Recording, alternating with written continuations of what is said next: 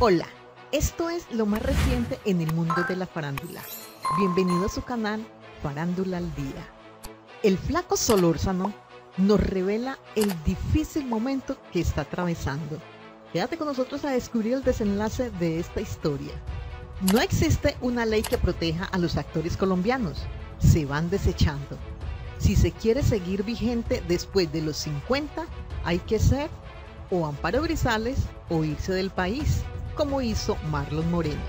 Fernando Solórzano, gracias a series como El cartel de los sapos o Las muñecas de la mafia, un tipo recontrapopular, el alma de la fiesta, pero a sus 60 años, el caleño no empezó a ser llamado a las producciones nacionales, sumidas en la facilidad del reality y los programas concurso.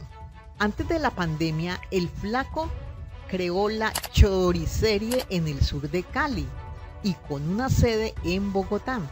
Allí vendía una de sus especialidades, el choripán.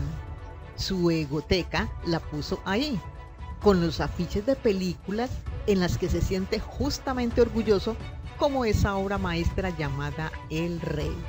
Sin embargo, en la pandemia el negocio fracasó se devolvió a Bogotá buscando salvar el otro negocio y no lo logró.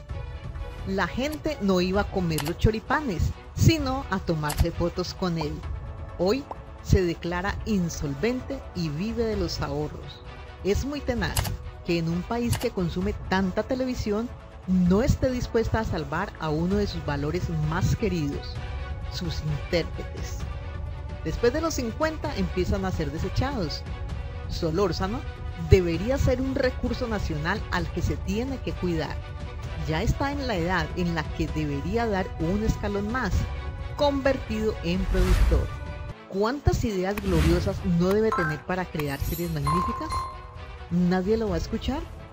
El flaco Solórzano quedó en la olla. Qué difícil es ser actor en Colombia. ¿Y tú qué opinas? Déjanos saber tu comentario, recuerda dar un like, suscribirte y activar la campanita para que estés al tanto con todas las noticias de la farándula.